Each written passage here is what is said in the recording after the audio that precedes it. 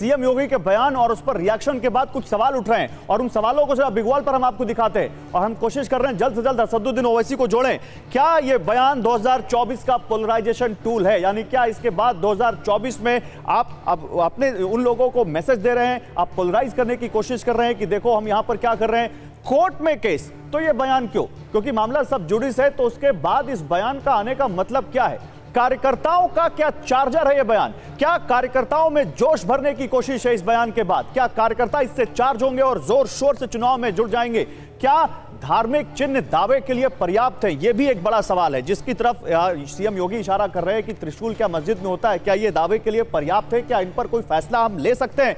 और जो सबसे बड़ा सवाल, क्या मुस्लिम पक्ष भूल सुधार करेगा? जो कहा है सीएम योगी ने कि मुस्लिम पक्ष को यहाँ पर खुद प्रस्ताव लाना चाहिए यह ऐतिहासिक भूल है जिसका सुधार होना चाहिए। और हिंदू मुसलमान के आगे क्या चुनाव की जीत है? क्या यह असली मसला है? क्या इस मसले को यहाँ तक लाकर खड़ा करना है कि 2024 और आने वाले कुछ चुनावों में ये इतना बड़ा मुद्दा बने कि इसके सहारे जीत हासिल की जा सके?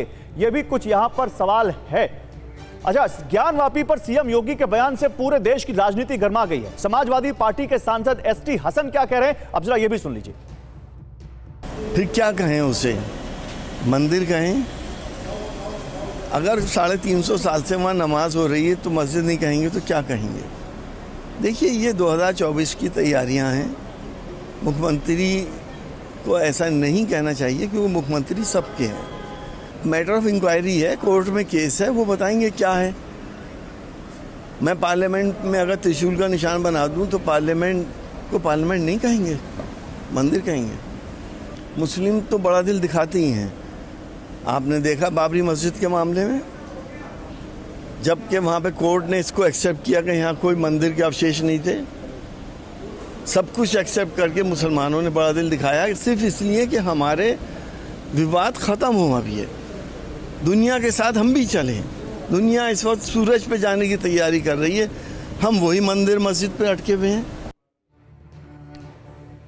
और आइए आपको एक बार फिर से सीएम योगी के बयान पर ले चलते हैं। उन्होंने त्रिशूल और देवी देवताओं की प्रतिमाओं का हवाला देकर ज्ञानवापी मस्जिद के मंदिर होने का दावा किया। कुछ ऐसे ही दावे हिंदू पक्षकार भी करते हैं, क्योंकि कोर्ट कमिश्नर के सर्वे की जो तस्वीरें लीक हुई, उनमें ज्ञानवापी मस्जिद के अंदर ये जो त्रिशूल की आकृति देख रहे हैं आप, ये त्रिशूल, फिर ये जो स्वास्तिक है, ये स्वास्तिक और फिर गुंबद के नीचे गुंबद और शिवलिंग जैसी आकृति मस्जिद की दीवार पर श्रृंगार गौरी ब्रह्म कमल मंदिरों के खंबे जिस तरह से ये आकृतियाँ ये सब देखी गई उसके अलावा हिंदू मंदिरों के खंबे हिंदू मंदिरों जैसी स्थापत्य कला और हिंदू मंदिरों के अवशेष मौजूद होने के दावे किए गए हैं। इसीलिए वो कह रहे हैं कि ये सब मस्जिद में कहाँ होता है जो वहाँ देखने को मिल रहा है। और हमारे साथ A I M I M chief Asaduddin Owaisi जुड़ चुके हैं, सीधे उनके पास चलते हैं। असदुद्दीन ओवैसी साहब, स्वागत है आपका टीवी नाइन भारतवर्ष पर।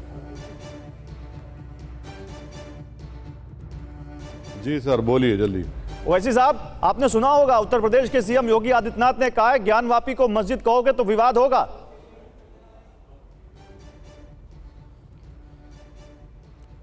देखिए उत्तर प्रदेश के मुख्यमंत्री को झूठ बोलने की आदत है।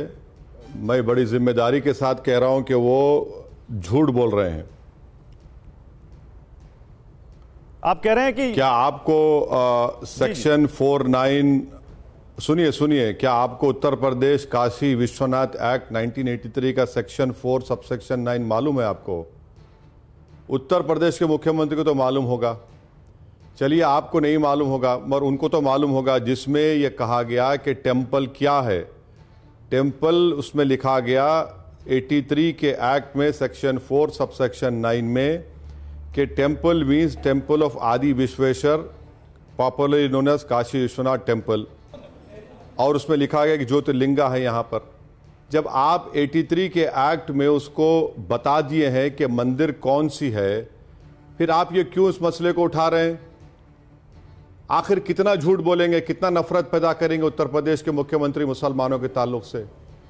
आपने देखा उस ट्रेन में वो वीडियो आया है, उस ट्रेन में जो कांस्टेबल गोली मार दिया है तीन लोगों को, पैसेंजर को, जैसे मुसलमान थे, और वो बोल रहा है कि योगी का नाम ले रहा है, मोदी का नाम ले रहा है। क्या करना चाह रहे हैं आप भारत में मुसलमानों का हाल? आप देखिए, आप खुद 83 का एक्ट पढ़िए कि इनका दिल नहीं भरता क्या नफरत फैलाने से। हमने वो कहते हैं कि दीवारें पुकार पुकार कर कह रही है। मैं कह रहा हूँ कि संविधान पुकार पुकार कर कह रहा है मुख्यमंत्री उत्तर प्रदेश को कि 91 का कानून देखो। वो 91 का कानून है, ज़िंदा है वो, जो कहता है कि 15 अगस्त के बाद जो भी मंदिर, मस्जिद रहेगी वो रहेगी किस्सा खत्म है उसमें। सुप्रीम कोर्ट ने नॉन रिट्रोगेशन की बात की। और ये ये जुडिशियल इसको अंग्रेज़ी में आ, आ, आप मुझे कहना पड़ेगा कि जुडिशियल आउटरीच है ये। मुख्यमंत्री का वो एक नैरेटिव सेट कर रहे हैं। एक कोर्ट का प्रोसेस चल रहा है। भाई बताइए आप क्यों कह रहे हो उत्तर प्रदेश के मुख्यमंत्री ये बात? मकसद साफ़ है कि नफरत फैलाई जाए। मुसलमानों पर दबाव डाला जाए, उनका दिल नहीं भरता क्या आपने घरों को तोड़ दिया बुलडोजर लगाकर? आपके राज में, हथकड़ियों में, लोगों को कोर्ट में गोली मार दी जाती है। और क्या चाहते हैं वो?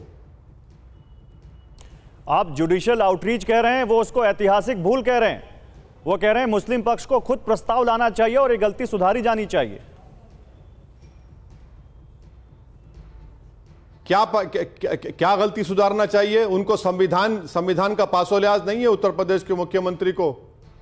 जो पार्लियामेंट में कानून बनाया गया उस पर उस पर अमल नहीं करेंगे जिसको सुप्रीम कोर्ट ने बाबरी मस्जिद राम मंदिर केस में कहा कि वो संविधान के बेसिक स्ट्रक्चर का हिस्सा करार दिया उसको। हम्म। वो कहाँ तक जाएँगे? तो, तो क्या 400 साल से हम शुरू करेंगे? क्यों 400 साल? क्यों नहीं हम लोग आ, आ, एक 2000 साल पहले चले जाते? बुद्ध मज़हब के भी लोगों को लेकर आइए बौद्ध मज़हब को मानने वालों को भी। एक नैरेटिव सेट करना चाह रहे हैं।